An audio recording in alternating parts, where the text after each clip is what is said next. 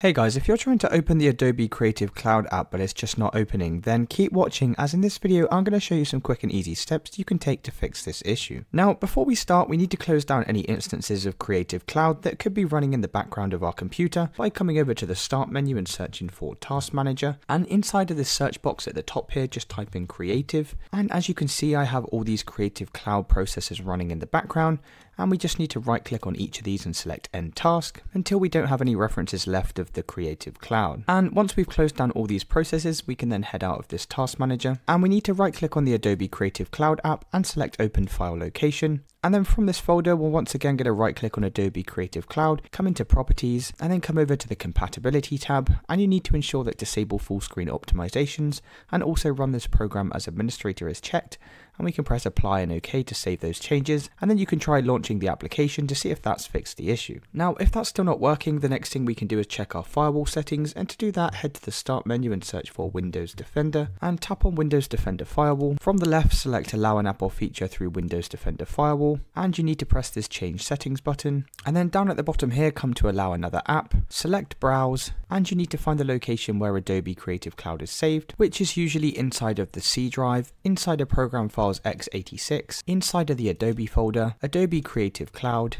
come inside of Utils, and select Creative Cloud Desktop App, and then click Open. Then press Add to add it to the list, and ensure that both private and public are ticked, and then come back into allow another app, back inside of browse, and we're going to come up one folder, inside of the account folder, and we're also going to select this one, the creativecloud.exe, select add, and once again make sure both private and public are checked, and we can press OK to save our changes. You can then check to see if that's fixed the issue, otherwise the next thing we can do is head over to our start menu and search for settings, and then tap on the settings tab, and from the left here scroll all the way down to Windows Update, and press this check for updates button, as sometimes outdated software can cause compatibility issues with our applications. So once you've installed any pending updates, come over to time and language from the left here, inside the language and region. And what you need to do here is you need to come to this drop down and if you see another language in here, then just change to the second language and then you need to change back to your original language. I know it sounds like a weird thing to do, but a lot of people have reported this working for them